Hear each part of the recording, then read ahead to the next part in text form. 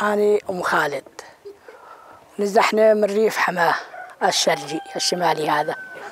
وصار لنا خمس سنين بهالموقع هذا. شوفت عينك المية مشترى والكل شيء مشترى ومهاوفة. حتى ربط الخبز ب 250 ورقة.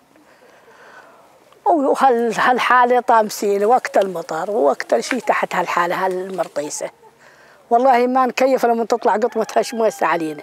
وميتين ومشردين والله بعضها ما تلحق الربطة ربط الخبز لا تلحقها. وشوفت عيونكم يعني على هالشي هذا. عنده ماكينة عايش من وراها يشتغل على الخضرايات يصير له آجار قطيمة.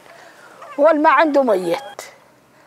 والله شوفت عينك ما عندنا لا فوقنا ولا تحتنا غير هالجوادر وأكثريتها يا عيني والله كلها قاعدة عطال بطال لا شغلة ولا عملة. الراحة على لبنان ينقلبون ونجوا على تركيا ينطردون. هذه شغلتنا. الحز حتى بلبنان ما يجارب يجي. والله. وهذه حالنا دحج مشردين حفيانين مصلخين حتى الولد يصلخ يروح خلف الله على واحد بس ضربان ينطيهم حذوه بين مع الله يفرج عليهم. حتى اللي يصلخ والله ما يطلع له يروح على الجار ويجيب له ورث. وهذه حالنا.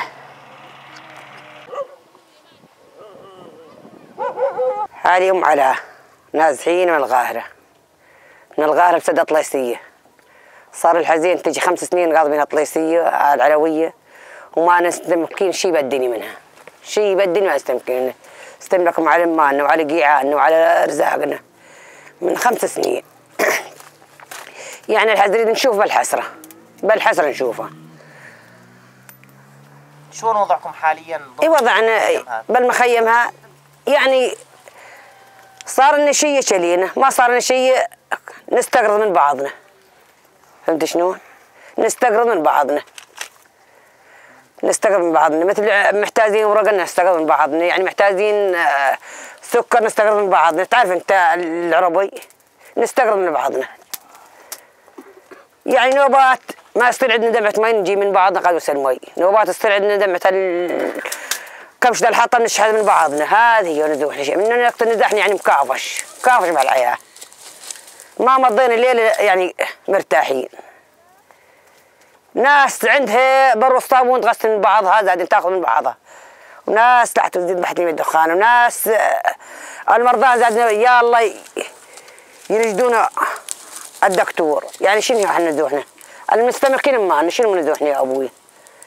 ما شنو هي؟ شنو هي يعني وضعنا شنو مادتنا شنو؟ بالنسبة للخبز بالنسبة للوضع المائي بالنسبة للأمور الخدمية ضمن المخيم. يقول الخدمين خدمنا. والله يخدمنا اللي عنده تراكتور جاب المي ما عنده تراكتور يجيب بس تتيزة 3000 ب 4000 يعني شنو ندوحنا يعني من يوم يعني ما استنفعنا بشيء بالدنيا. هيك مسكر علينا هيك مسكر علينا يعني من كان مسكر الباب علينا. بالنسبة للمتوفر الطحين والخبز؟ إي والله نوبات نشتري. نوبات ما نشتري. نوبات اللي عنده حق كيس طحين يشتري. ما عنده يستغرب من نجيب كيس الطحين. يعني مكافش مكافش مكافش على مكافش يا ولد أختي. والله مكافش.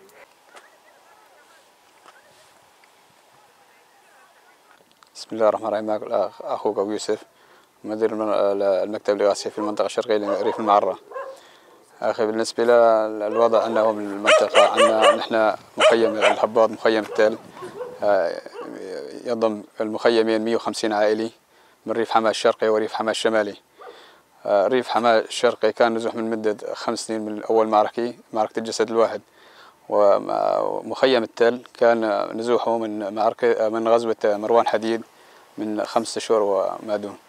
أما بالنسبة للحالي للمخيمين لا يوجد دعم أي شيء للمخيمين. إلا عبارة عن كانت سلل غذائي وحاليا وقفت منظمة العمل. وباقي الأمور كلها يعني الخبز والمياه والقسمة الناس هون هي بتأملها بنفسها. يعني تقوم ببيع مثلا اللي عنده مواشي أو كذا شغلة يبيعها ويختات منها. وتدفئة ولا يوجد خيام ولا أي شيء يعني يتقدم لهذا المخيمين.